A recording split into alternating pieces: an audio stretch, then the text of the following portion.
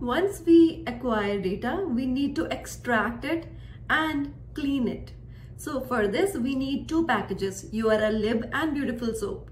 So now in this video, we are going to learn about HTML parsing and cleanup.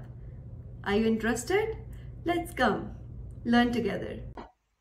So in this tutorial, we are going to learn firstly about URL lib package.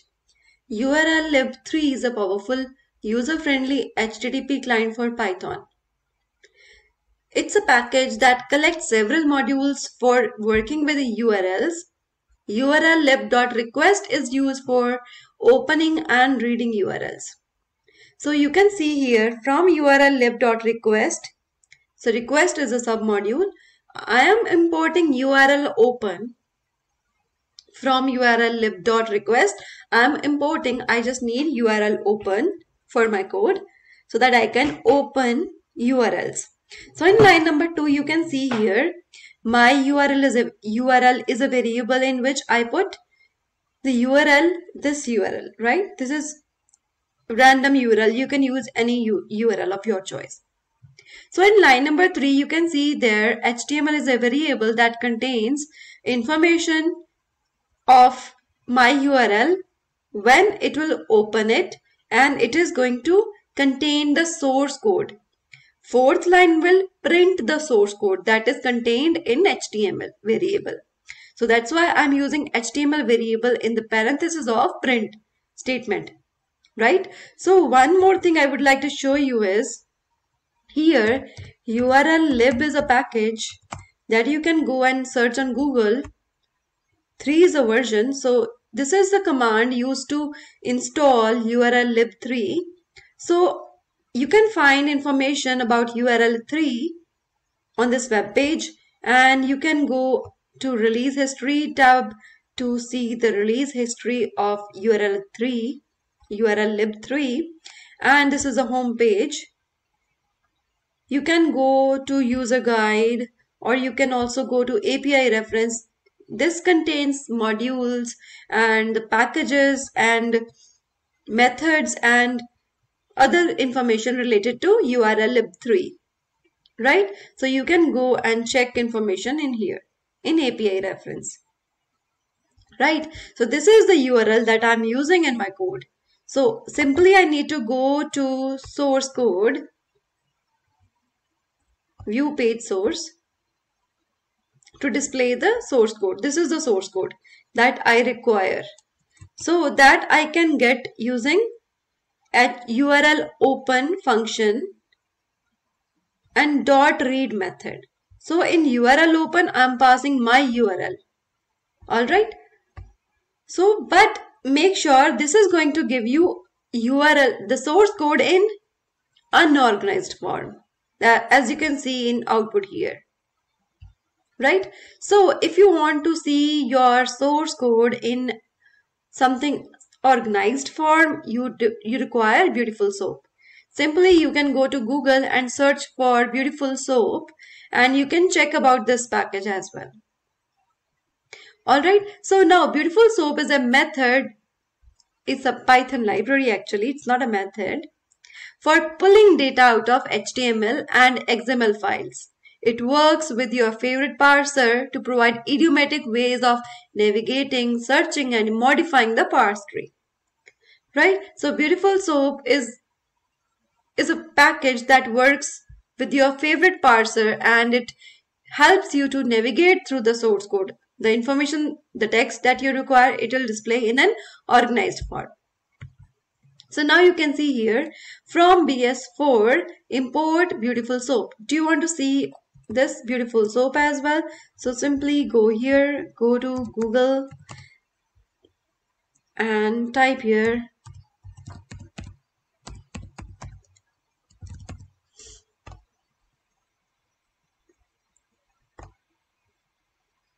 So this is how you can install Beautiful Soup on your IDE this is a release history. This is home page. You can see information more information about Beautiful Soup here. And here you can see documentation. And here this is all the this is the documentation for all the things that it can do. So in the upcoming tutorial we are going to use this find function and find all function. So i'm clicking on find here. So this is here you can see how we can use find function or find all function so these we are going to use in our upcoming tutorial so let's move back to our slide so in line number two, firstly we have used import keyword to import Beautiful Soup. So now I'm using soupified. Soupified is a variable that contains Beautiful Soup and within the parenthesis of Beautiful Soup method here I'm using HTML. HTML is a variable remember that we have used in the in slide this slide. So HTML is a variable that contains my URL like the source code but in unorganized form because you have here we have used url open and read so it has it contains source code using url lib but we want to organize it so here i'm using soupif in the soupified variable and Beautiful Soup as an argument i'm passing here html and html dot parser is my favorite parser that i'm using right so print soupified. So when I'm going to print soupified, this variable is going to show me the same source code but in organized form. I hope you understood it. Now, displaying contents of different tags of source code in web page. So this is the web page that we have. This is the web page and here this is the title tag. Firstly, I would like to show see the contents of this tag right so moving back here so now you can see here simply I can use as line number one of this slide you can use print command and within the parenthesis of print command you can see there soupified dot title dot text soupified you remember soupified is a variable that contains you can see here that contains HTML like the source code in organized form and dot title. Title is the tag in this source code. This, this contains source code. Source code in the source code I'm particularly I'm particularly referring the title tag and in the title tag I'm referring to I'm pointing to the text of title tag. So that is why you can see here, this is the output getting current data, date and time in JavaScript, Stack Overflow. So you can make sure this is the content of the title tag, right? You can ensure here. So now here in line number three, div tag contents. So now I would like to see the contents of div tag. So what it is going to show me, soupified.find I'm using method find here with soupified that contains source code. So soupified.find, I want to find div tag which has class spros js post body. So make sure let's search for here div tag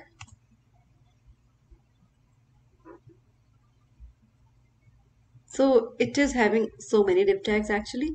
So let's search for spros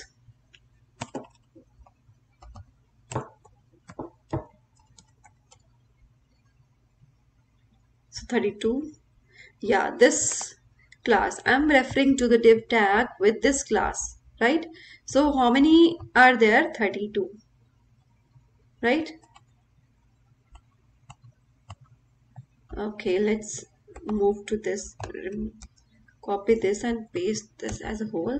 So 31 are there. Right? So div tags with this class probably they are probably these are 31 right? So I'm going to my code. Now see here line number 3 div tag contents. Soupified.find div and the classes as spros js post body.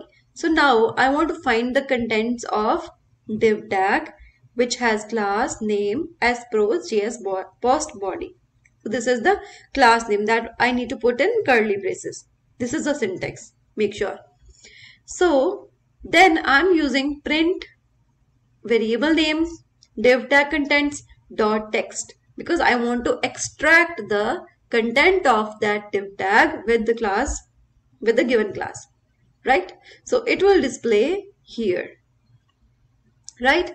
So this is only one time it is going to display but here we are going to use for loop. Using this loop I can display the contents of all div tags where class is the given class. J as pros j as post body this class right? So simply you can use a variable data that contains soupified which contains source code in organized form dot find all. Now here I'm using find all function and div tag then class. This is another way we can display we can check we can refer to a particular class. This is another way. You can use that as well here in find I have used this way. In find all I am using this an alternate way. You can use either. So now for D in data. Now D is an iterator variable that will contain the contents of div tag which has class s pros js post body one by one. D will contain text not text actually D will contain div tags one by one 31 div tags one by one firstly first div tag and at the end 31st div tag right so now first of all it will we are going to print here dash dash dash, dash just in order to separate all the contents of the div the given div tags. Now you can see here d dot text. D contains the div tag dot text that we want to extract text out of those div tags with the given class. And here I am using backslash and three times so that I can leave gap of three lines and I can display the contents of div tags separately. Here we are using strip function. Remove spaces at the beginning and at the end of the string. So you can see here a variable tags is there that contains soupified. Remember soupified is a variable that contains I'm repeating it contains source code in organized form. Again we are using find all. Find all what? A. Right? A is a tag. So here A is a tag. I want to find all A tags. Then you can see here in the comment section in line number 2 find all within double quotes and parentheses it's a tag finds all the a tags right so for t in tags now for t's iterator variable in tags tags is the line of line number one that contains all a tags then using for loop i am printing t dot text dot strip I'm printing the text of all the A tags and I'm removing the spaces at the beginning and at the end of all the strings. Right? So you can see in the here you can see in here the second for loop we have used. So for link in soupified dot find all a now you can see link is iterator variable that i have taken. Link in soupified dot find all. Now I'm using here.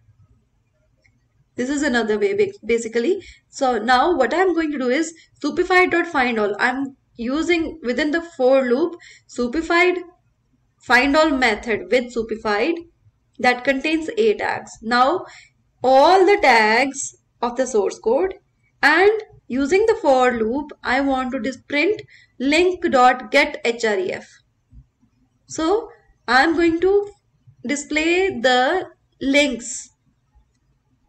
I'm going to display the links of href attribute. Like for example, let me show you.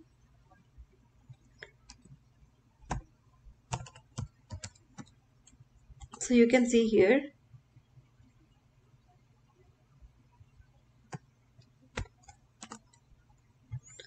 So here you can see href attribute has link hash so it will be displayed so in here this a tag has href attribute that contains this particular link so this will be display, uh, displayed so 472 links probably will be there that will be displayed like this. Right? So now in this slide you can see here extracting all the text from a page. Like if you want to extract all the text from a page, you can simply use soupify.get underscore text method. It Using this method, you can extract all the text from a page. Thank you. Like, share and subscribe and don't forget to hit the bell icon. We are so thankful that you are supporting us.